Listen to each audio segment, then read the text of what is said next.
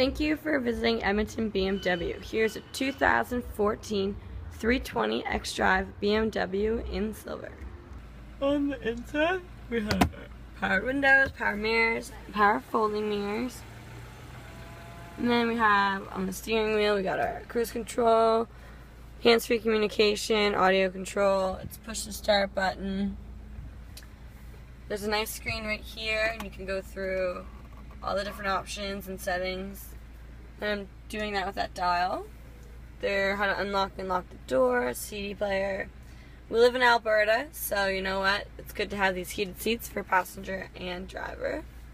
Dual air conditioning, uh, power outlet, Sport and Eco Pro mode. You want to go fast, or if you want to just uh, take it easy and save a bit of fuel. We have our auxiliary and a USB in there as well. Nice black leather seats, uh, tons of room in here, very spacious. 17 inch alloy wheel on a Bridgestone tire. As you walk to the back, see that there's parking sensors. Just open the trunk for you. Lots of room. Huge trunk. You have some storage in there.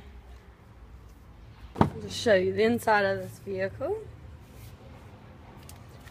Nice black leather, lots of room. Tons of room actually. We have our um, climate control there. Nice armrest with some cup holders. Super easy. You have your child anchors there. And it's really comfy. As you walk to the front, you can see there's a turning signal on the mirror.